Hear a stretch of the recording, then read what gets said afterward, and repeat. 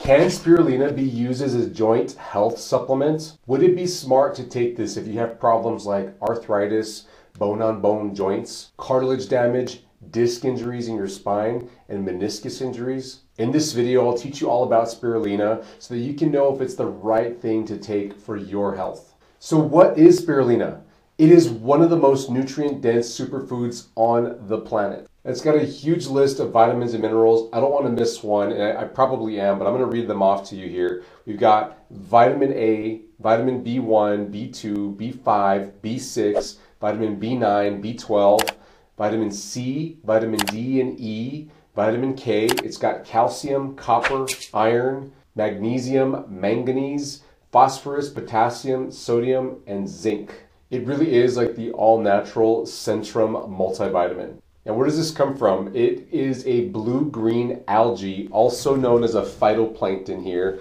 In some sources, they call it a bacteria as well.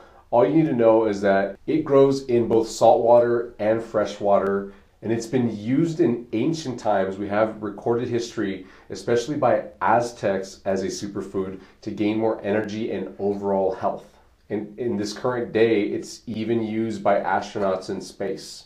I'll tell you more about that in just a moment. It's known to be an antioxidant and anti-inflammatory. So this is where I think it's especially beneficial as a joint supplement, as something to use to keep your cartilage, your ligaments, and other parts of your joints healthy for the long term. And in addition to that, it's been shown to help with cancer, with lowering blood cholesterol and triglycerides, also lowering your blood glucose or your blood sugar levels, reducing blood pressure. It can help with anemia and it's even been shown to help with seasonal allergies, like the type of stuff that people suffer from depending on that time of the year. Now, the side effects, and there really aren't many, it's really just potential side effects, are if you're taking blood thinners, you should consult with your doctor. I highly doubt they're going to tell you not to take this but do your due diligence and check with your doctor. Also, if you're nursing or pregnant currently, you should check with your doctor as well. They're probably not going to tell you no, but be safe, you got a baby. And of course, as with any supplement or even any food that you're eating, you should stop taking this immediately if you feel any sort of reaction, if you're having a skin reaction or if you have any stomach problems related to it, which is probably next to never going to happen. You should be careful with kids around this, and not because it's not healthy for them. It actually doesn't say that kids can't take this. You just got to be careful that kids don't choke on the pills. This is a choking hazard for children. Now, let me give you my honest opinion about Solgar's spirulina supplements. Now, I love Solgar as a company just because they've been around for a long time. They kind of know how to do it. They've been around for over 75 years. They put all their supplements in these glass amber bottles. The amber helps to reduce the light going in to preserve the supplement, and the glass, of course, is just way better to use than plastic as containers for most vitamins and supplements are made from plastic, and we all know that plastic leaches things off that are cancer causing agents. So, glass all the way if you can. And Solgar goes the extra step to make their products as hypoallergenic as possible, meaning you're likely going to never experience allergies because of this. This is kosher and let me read you the rest here. It's gluten-free, wheat-free, dairy-free, soy-free, yeast-free, sugar-free. It doesn't have any artificial flavors, no sweeteners, and it doesn't have any colors added to this. The capsules are made from vegetables.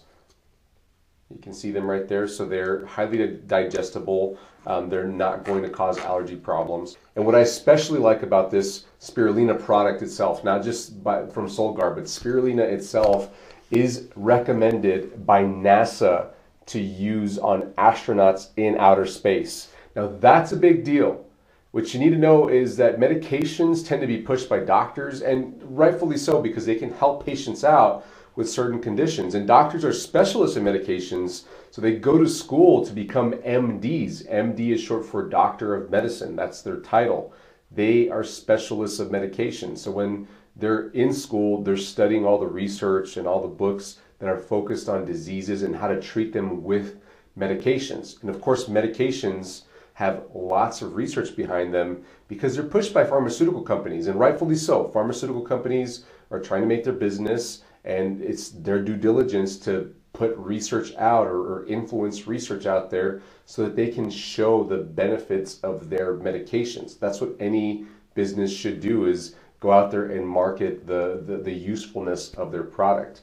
But the fact is that spirulina is a natural thing. It's not made by a pharmaceutical company, so it just doesn't have very much research behind it. It doesn't have very much financial backing to do research, but it is a superfood. You should be taking this to improve your overall health, and it, it this should be used in combination with other supplements to help your joint health and in addition to a bigger plan involving exercise, which we go into in depth on this channel with how to fix things like joint arthritis, other cartilage injuries, and much, much more. But if NASA deems this important for astronauts, I think it's pretty important for us to use here on Earth for our own benefits. The downside to taking spirulina is next to nothing. It's extremely affordable relative to medications and the health benefits are through the roof. The upside to taking this supplement is truly greater than we know. So how to use this? All you do is you take four capsules a day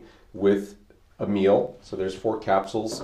And just to show you the, the, the color of these are kind of bluish green and they're not the smallest. You can see them they're in the palm of my hand. And you would take this with a meal once a day.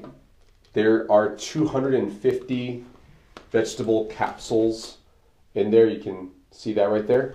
So that makes for about 60 days, 62 days of supplements. So if you're going to test this for your overall joint health, if you're dealing with arthritis or some disc injury in your spine, um, I would recommend taking this for at least two months. So one of these bottles should be enough for you to take it for two months. Now, if you want to get the specific brand by Solgar, there's a link in the description below. And I need to let you know that Solgar has not paid me to do any of this. I have, I'm just doing this because I like their products. I got it from Amazon. There's a link to buy this from Amazon in the description below.